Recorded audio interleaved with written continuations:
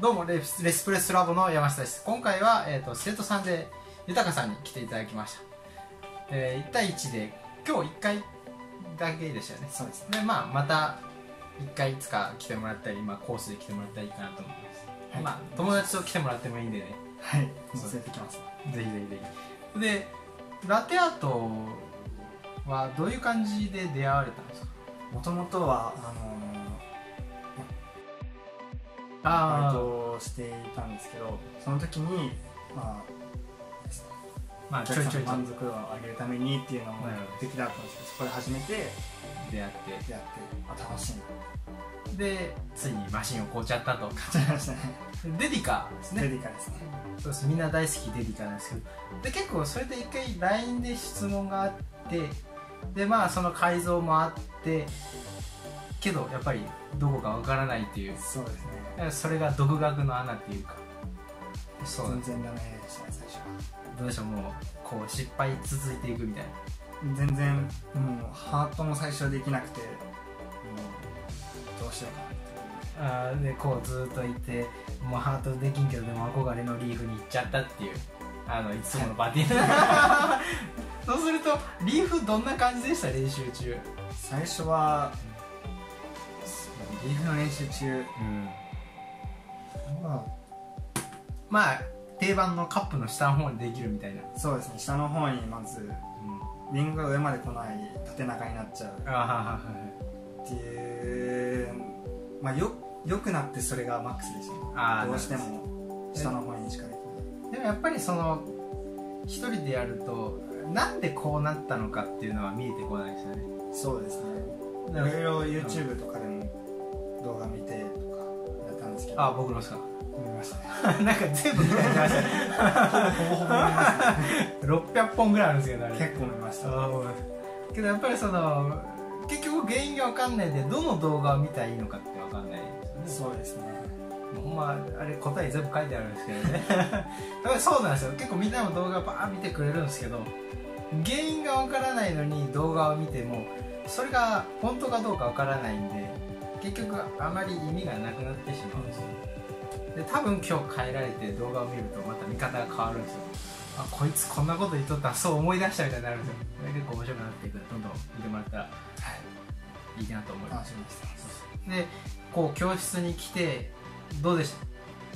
いやまずもう基本から違いましたね、うん、基本から。あハート、まあ、ハートからもうそもそもスチームから全然独学だと間違ってましたね。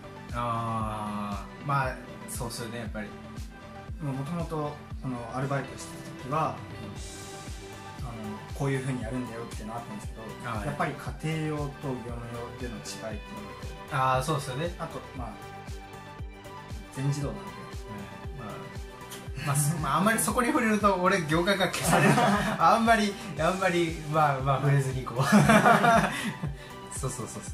全自動だまあまあどうやろうができるっていう感じですよね。まあラテアートを目的としてたわけじゃないので、うん、まあカプチーノとかねラテができれば。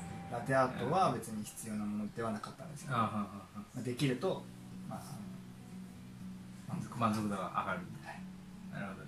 そうなんですよ。だからその結局はその業務用と家庭用のな溝というかそれを埋めれなかったんですよね。そうですね。自分の力だけだとやっぱ。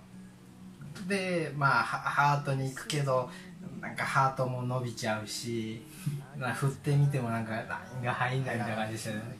でまあ今日来てまあこうハートができるようになってリーフできるようになってきてやっぱこの辺から楽しくなりますよね。そうですね。ねこの地獄からやっと天国にこれだみたいな ひたすらもうただのラテを作ってました、ね、ああそうですね。でもできないわからないもう一回やるできないわからないもう一回こうこう地獄に向かって 今それをこう捕まえてやっとこう地上に立てたみたいな、まあ、そこからやっぱ面白くなっていくんで。どうですか？この教室おすすめな感じですか？いやおすすめですね。あもうちょい具体的に欲しい。やっぱ何全部良かったんですけどまず結構スチームとかってわからない。あでこういうふうにやるんだよって言われるだけじゃ結局、まあ、動画とか見てこのぐらいが目安っていうのをやっても分からないんでもう自分がやってるのを見てもらってこういうふうにした方がいい。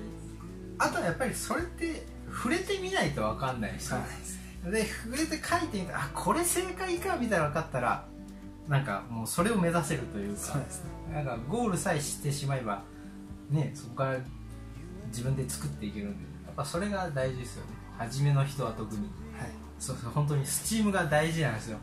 ねいや本当に良かったです。ぜひまた来ていただけたらなと思います。ありがとうございます。皆さんも来てください。ありがとうございます。ありがとうございます